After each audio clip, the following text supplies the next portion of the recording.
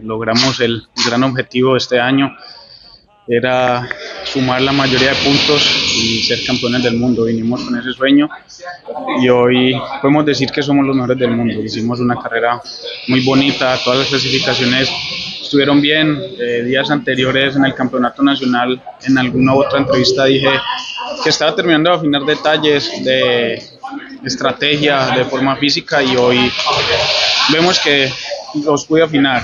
Eh, un día largo, eh, algo angustiante porque siempre todos los gires estuvieron muy buenos, pero eh, al final la forma física y la estrategia con el profe Jaime salió y podemos decir que somos campeones del mundo.